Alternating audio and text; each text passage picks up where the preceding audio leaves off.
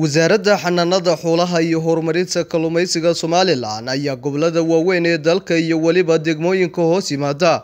Waxay u qaybisay qalab lagu kaydinayo tallaalka dawooyinka xoolaha waxaana madasha qaybinta qalabkan goobjoog ka ahaa wasiirka wasaaradda xanaanada xoolaha iyo horumarinta kalluumeysiga somalilan iyo weliba mas'uuliyiin kale oo ka tirsan wasaaradda agaasimaha waaxda caafimaadka ee wasaaradda xanaanada xoolaha dhaktar axmed haybe warsame oo isagu halkaasi ka hadlay ayaa waxa uu faahfaahin ka bixiyey qalabkan maanta wasaaraddu ay ku wareejinayso gobollada waaweyn ee dalka.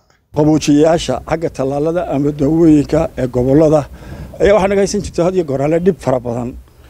Marka ay dawooyinka ama tallaalku ay gobollada gaadhaan waxay nagu kaa qaadi jirtay wakti fara badan baa naga lumi jiray waxaa naga lumi jiray dawooyin badan ama tallaalo badan baa dhibaatooyin kala kulmi jirnay.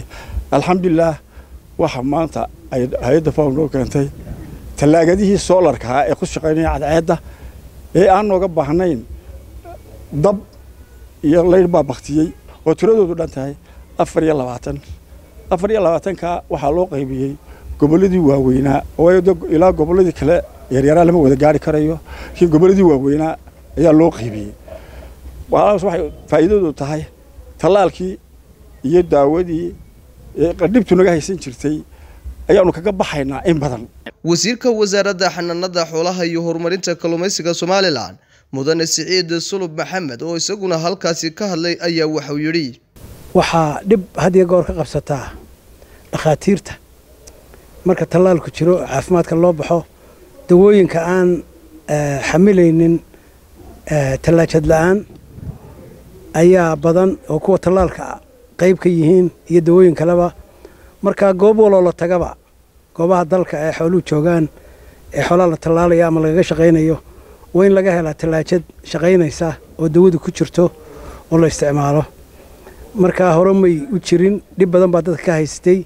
Xarumaha waaweyn ee headquarterska unbaa laga heli jiray.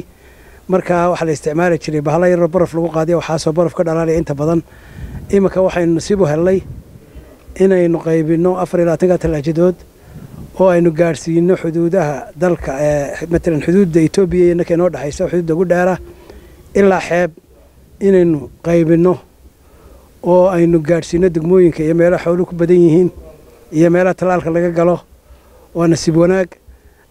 Taasu waxay noqotay hawl wasaarad ahaan naga dhacday oo maalinkan maanta ah aanu ku faraxsannahay inaanu la wadaagno dadweynaha iyo xoolo dhaqatada meel kastay joogaan miyiyo magaalo tallaalka markay tahay dhakhaatiirtu waxay sheegeen inay tahay ilaa kun xabadood ay qaadayaan. Waa maxmed andar m m t v